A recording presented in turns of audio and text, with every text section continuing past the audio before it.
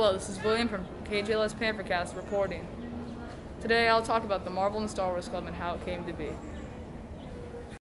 Miss Nevels approached me and she said, I have this idea for a club, but I'm super unpopular.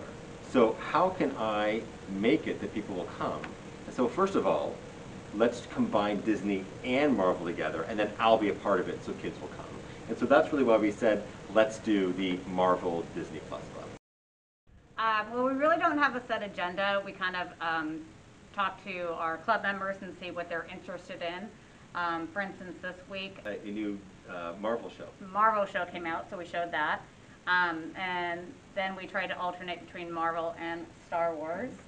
Um, sometimes we'll show uh, trailers, or we'll talk about um, episodes like What If or The Mandalorian.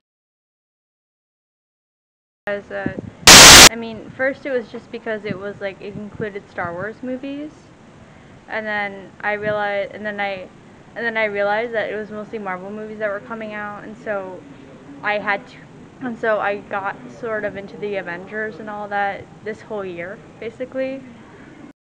Now you see how the Marvel and Star Wars Club was founded and why people enjoy it so much. This has been William from KJLS Panthercast Announcements signing off.